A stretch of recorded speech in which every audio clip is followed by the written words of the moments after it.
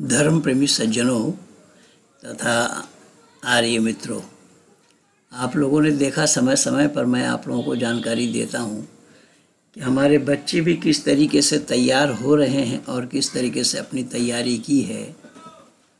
बड़े आसानी से, चाहे मौलवी हो, चाहे पादरी, चुटकी में ही परास्त कर देते हैं। आज गणेश दास जी ने जो आसाम के हैं और एक आसामी पादरी को, पास्टर को किस तरीके से निरुत्तर किया है? देखिए, और एक ही पॉइंट में ही वो फेल हो गए, वो जवाब नहीं दे पाए। इस पास्टर का नाम है मृगेन पाठक। देखिए, हिंदू से ही ये ईसाई बने हैं। और हिंदुओं को इस तरीके से वरगला कर, आसाम में भी तेजपुर में बहुत तेज़ी के साथ काम ईसाई लोग कर रहे हैं। मेरे पास कई फ़ोन आए थे। कल ही फ़ोन आया था तो मैंने गणेश जी को दिया कि यहाँ पर देखिए, ये परिवार ईसाई बन गए हैं। और वो उनके माध्यम से फिर ये पास्टर का नंबर मिला तो उस पास्टर से इन्होंने पूछा। आसामीज भाषा में है ये। आसामीज भाषा में ये पूछ रहे हैं कि दुनिया बनाने में कितने दिन लगे? तो दुनिया बनाने में इसमें बाइबल के अनुसार सात दिन लगे। और उसमें भी बताया गया है कि कुछ भी नहीं था, जलाशय था, जल था। और जल के ऊपर परमात्मा का आत्मा मडरा रहा था। गणेश जी ने पूछा कि परमात्मा के आत्मा को मडराते हुए देखा किसने? बोले, क्या मतलब? बोले, जब देखा नहीं तो लेखा, लिखा कैसे? इसी में ही वो परास्त हो गए, इसी का ही वो जवाब नहीं दे पाए। और ये मैं बहुत पहले, कई वर्ष पहले, एक पादरी को इसी तरीके से परास्त करते हुए वैदिक धर्म में दीक्षा दी थी। तो इसी तरीके से हमारे गणेश दास जी अपने आसामीज भाषा में, आसाम में जो ईसाइयों का उपद्रव चल रहा है, उसको बंद करने में बहुत बड़ा योगदान गणेश दास जी का है और निरंतर वो काम कर रहे हैं, लगे हुए हैं। अब इनकी मान्यता देखिए, अभी आप लोगों ने गंगा सिंह का देखा था। हैदराबाद के इस्लामिक सेंटर के साथ वो बात कर रहे थे। कुछ नहीं था, पानी था। पानी किस पर था? नहीं पता। ना अल्लाह को पता, ना यहोवा को पता। जब कुछ भी नहीं था तो पानी कहाँ से आया? ये भी नहीं पता। तो कुछ भी नहीं था तो पानी कहाँ से आया? पर पानी था ये बोलते, तब तो बात थी। कुछ भी नहीं था। और यही डिस्कवरी ऑफ़ इंडिया में भी हमारे पंडित कहलाने वाले जवाहरलाल नेहरू जी कह रहे हैं, कुछ भी नहीं था, अंतरिक्ष भी नहीं था, आकाश भी नहीं था, जबकि आकाश खाली जगह का नाम है, आकाश शून्य स्थान का नाम है, आकाश अनादि है। लेकिन इस तरीके से वर्गलाने का काम इन लोगों का चल रहा है। तो गणेश दास जी ने किस तरीके से पास्टर को निरुत्तर किया है, आसामीज भाषा में है आप लोग नहीं समझ पाएँगे तो मैं थोड़ा सा हिंदी में बोल दिया कि विषय क्या है किस विषय पर ये चर्चा कर रहे हैं सृष्टि उत्पत्ति विषय पर ही चर्चा कर रहे हैं और छः दिन सात दिन क्यों लगे यहोवा को सृष्टि बनाने में उस पर भी सवाल किया। और रात कैसे हुए दिन कैसे हुए इन्हीं बातों पर ही चर्चा करते हुए पास्टर को परास्त किया गणेश दास जी ने। आप लोग सुनिए धन्यवाद के साथ महेंद्र पाल आ रही हेलो। हाँ दादा। হয় কোনে ক'লে? মই গণেশ দাসে ক'লো যোৰহাট আপাৰ আছামৰ পৰা। হয় কওকচোন। হয় মই আগতো ফোন কৰিছিলো আপোনাক আপুনি ৰিচিভ মানে সময় দিও মোক সময় নিদিলে। হয় কওকচোন কি আছিলে? অ মই কিবা এটা মানে অলপ জানিব খোজো আপোনাৰ পৰা। হয় কওকচোন। উম আচ্ছা খ্ৰীষ্টিয়ানিটি কি এইটো ধৰ্ম হয়? কি ক'লে? না আপোনালোকে যে প্ৰচাৰ যে কৰি আছে বাইবেলৰ হয়। খ্ৰীষ্টিয়ানিটি ধৰ্ম হয়নে? মই ধৰ্ম প্ৰচাৰ কৰা নাই। কিহৰ প্ৰচাৰ কৰিছে। আপোনালোকে? জাষ্ট কিছুমান নলেজ প্ৰচাৰ কৰিছো ঈশ্বৰৰ বাক্য কিছুমান আচ্ছা আচ্ছা আচ্ছা আচ্ছা আচ্ছা বাইবেলৰ মই মানে জানিব খোজো আপোনাৰ পৰা। অ'কে হা তো মই আপোনাক মানে কেইটামান প্ৰশ্ন কৰিম আপোনাৰ সময় আছেনে মোৰ এতিয়া অকণমান দেৰিকৈ ফোন কৰিব নেকি আপুনি? নহয় নহয় আগতো আপুনি তেনেকুৱা দেৰিকে ফোন কৰি কৰি মই মানে মোক ফোন নকৰিলে মই- মই আপুনি কথা পাতিছোচোন আপোনালোক আৰু আপোনাৰ নামটো কি কওকচোন? মোৰ নাম গণেশ দাস আপাৰ আছাম গণেশ- যোৰহাট হয় হয়। আচ্ছা আপোনালোকৰ গণেশ দাস বুলি নহয় কোনোবা এজন মই কথা পাতিছো অলৰেডি আপোনালোকৰ। অ'কে অ'কে অ'কে হয়। তেওঁক, কি যি যি কুৱেশ্যন আপুনি যি যি কুৱেশ্যন কৰিব বিচাৰিছে মই ভালকৈ জানো সেইবোৰ কুৱেশ্যন অলৰেডি মই এনচাৰ দিছো তেওঁক আচ্ছা ক'ত কোনোবা এনচাৰ দিছে? ৰঞ্জিত- মোকতো দিয়া নাই আপুনি মোকতো দিয়া নাই। ৰঞ্জিত- ৰঞ্জিত নে কি আছিল তেওঁৰ নাম পাহৰি গলো মই নামটো। ৰঞ্জিত ৰঞ্জিত মোক চিনি নাপাওঁ মোৰ নাম গণেশ দাস। হয় আপুনি হেৰি কৰকচোন। কওক। এইটো আপোনাৰ যীশু খ্ৰীষ্টটো কি ঈশ্বৰ নে কি?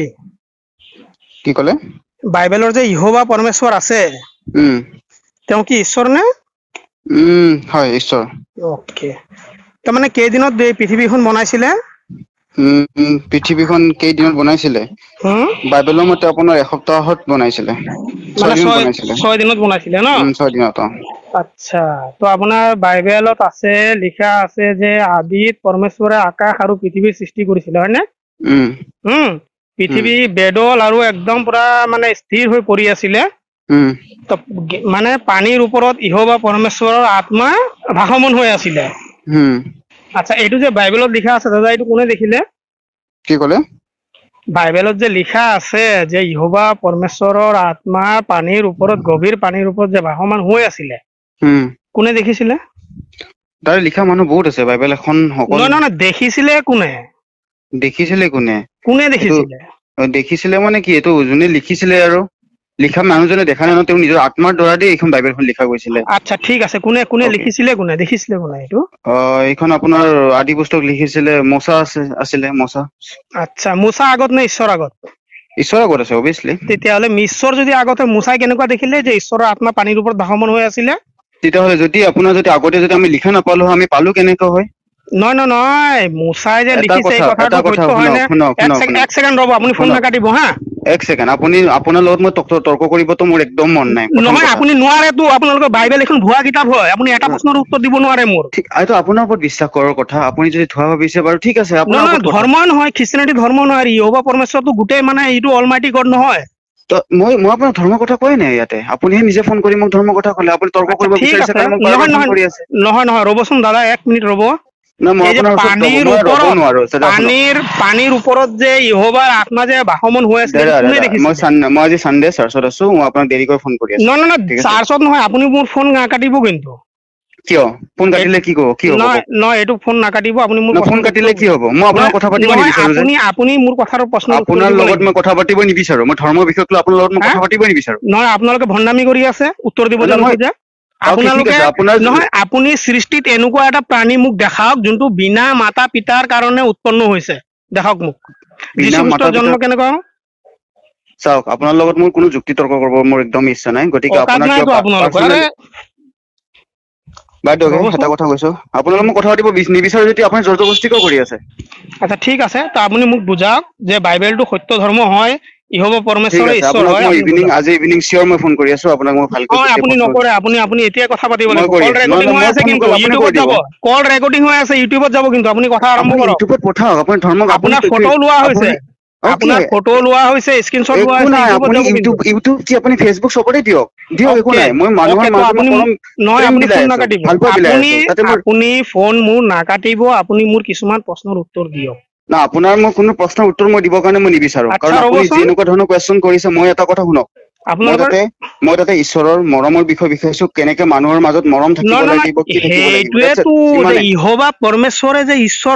আপুনি বিষয়ে আনিছে আদি পুস্তকৰ বিষয়ে আনিছে চাওক। সকলো পুস্তকতে সকলো কোনো কোনো আপোনাক যে আজি কোৰাণ হওক বাইবেল হওক গীতা হওক ভগৱত হওক কোনো মানে কোনো আপোনাৰ ওপৰৰ পৰা আহি পৰা নাই। লিখিছে কোনোবা এজনে ইয়াতে।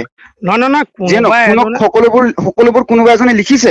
আপুনি ৰ'বচোন। আজি যে গোটেই ধৰ্মৰ এক কিতাপ second, লৈ কেনে অকল এক আপুনি ছেকেণ্ড ৰ'বচোন আপুনি দাদা অকল- দাদা ৰ'ব ৰ'ব ৰ'ব। শুনক ৰ'ব ৰ'বচোন, ৰ'ব আপুনি বহুত বেলেগ ফালে আপুনি- নাযাব আপুনি বেলেগ ফালে নাযাব। আপুনি আপোনাক মই বেলেগ- এইটোৱে সুধিছো যে এইটো বাইবেলখন যে ঈশ্বৰৰ আত্মা যে ভাষমন হৈ আছিলে কোনে দেখিছিলে? বাছ এই উত্তৰ দিয়ক। এ- এটা কথা আপুনি এইটো প্ৰশ্নৰ উত্তৰ দিয়ক না আপুনি বেল- বেলেগ ফালে গৈ আছে। বেলেগ ফালে কিয় যাব লাগে? আপোনাৰ লগত মই কথা পাতিব নিবিচাৰো। আপুনি আপোনাৰ অকাত নাই ন? আপোনালোকৰ মুখামুখি অকাত নাই? আপোনালোকৰ পাছপোৰ্টবোৰ পাষ্টৰবোৰে পেন খুলি লেংটা হৈ পলাই গৈ আছে। আপুনি কি কথা পাতিব? আপুনি নাস্তিক হয় মেইন কথা? আপুনি নাস্তিক হয়, শব্দটো ক'ত পালে? ধৰ্ম কাক কয়? প্ৰথম কওক। আপুনি- ধৰ্ম কাক কয়? প্ৰথম আপুনি মোক কওক যে ধৰ্ম কাক কওক? ধৰ্মৰ ডেফিনেশ্যন কি? ধৰ্মৰ মই ডেফিনেশ্যন কি নাস্তিকৰ লগত মই ধৰ্মৰ কথা পাতিব ডেফিনেশ্যন কি নিবিচাৰো। আপোনালোকে নাস্তিক হয় ধৰ্মৰ ডেফিনেশ্যন কি ये आसामीज भाषा में है हिंदी भाषी लोग नहीं समझ पाएंगे फिर भी मैं थोड़ा हिंदी में बोल दिया विषय क्या है और आशय क्या है इस वीडियो का तो वीडियो अच्छी लगे शेयर शेयर कीजिए लाइक कीजिए सब्सक्राइब कीजिए आई कल बेल दबाना ना भूलना धन्यवाद के साथ मैं इंद्रपाल